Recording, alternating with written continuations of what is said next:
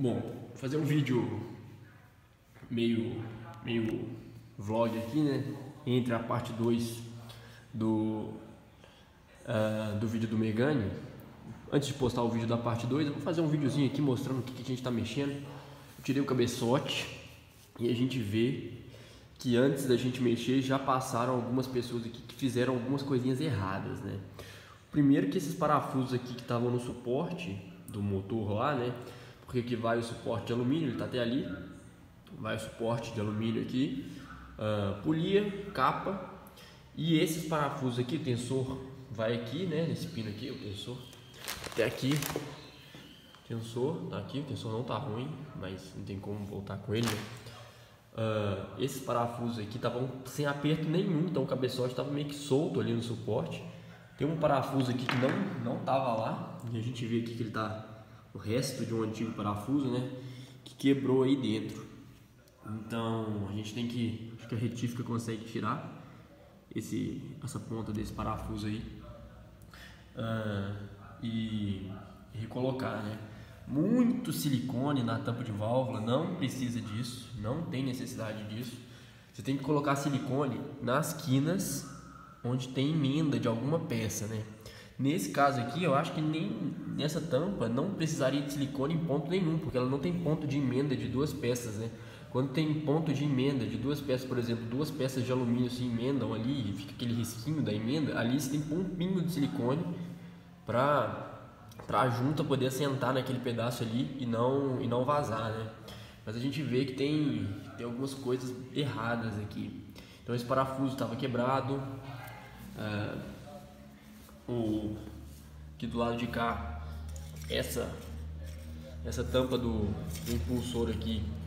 Porque aqui vem um sensor de fase a gente tem um impulsor aqui que que é uma peça de, de metal né? E tem um sensor de fase que é tipo um imã ele mede a, a, em qual ponto o motor tá né? Então aí tem um sensor de fase a gente tem a gente compra essa ainda se encontra isso aqui original a gente consegue comprar.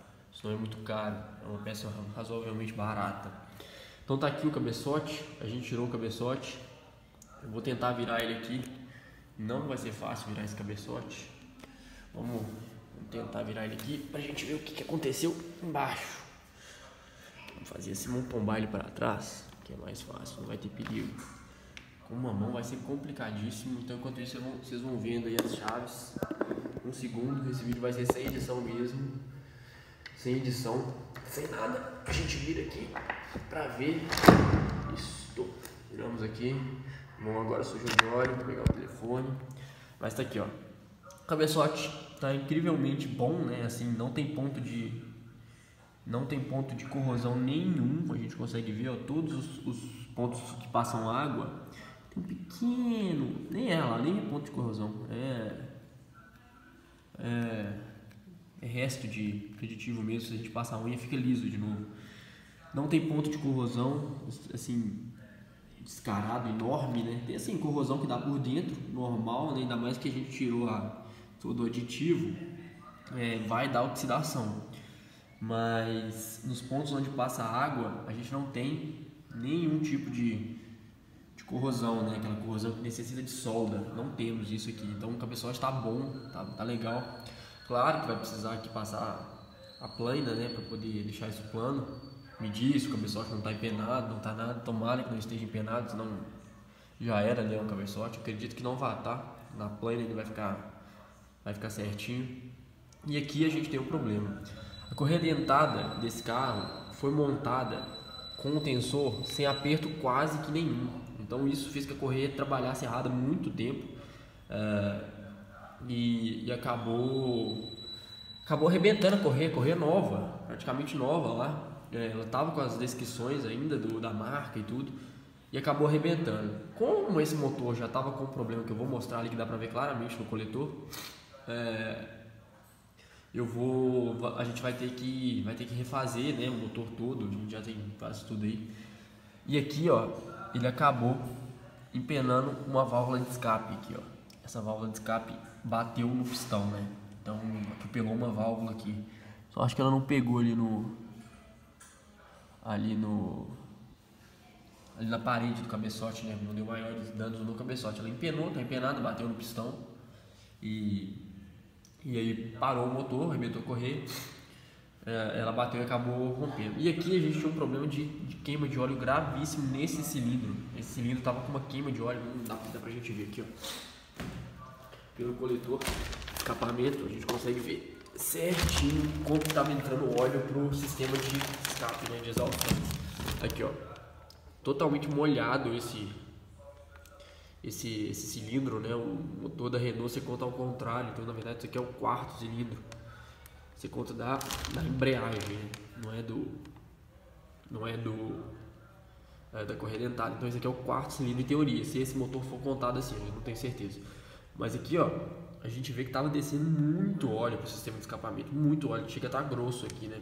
Do lado de cá tava seco, já tava com uma carbonização grande nos dutos, né? Já tava reduzido o espaço de escapamento aí. Isso, isso com certeza tira a potência do motor, porque o ar, é, os gases saem do, do espaço reduzido, né? Mas não tinha é, queima de óleo. Ele estava queimando óleo nesse cilindro. Então a gente já, já tem tudo para fazer a parte de baixo do motor, né? Falta bronzina que precisa de, de medição, pistão a gente tem, biela não vai precisar trocar.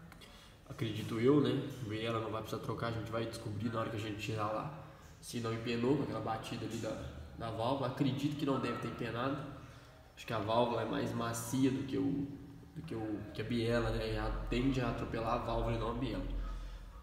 Uh, calço hidráulico que é comum empenar biela, né?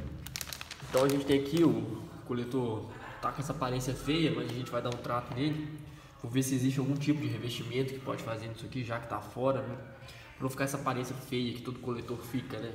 Assim, alaranjado de ferrugem, às vezes tem algum tipo de, de, uh, de tratamento de revestimento que a gente possa dar aqui. Então é basicamente isso. As bobinas aqui a gente tem novas, mas a gente já cheirou ali. Basicamente é isso. E aí é um videozinho só para mostrar o que a gente fez na parte 2 da reforma. A gente faz um vídeo detalhado mostrando tudo, tudo que está acontecendo. Valeu!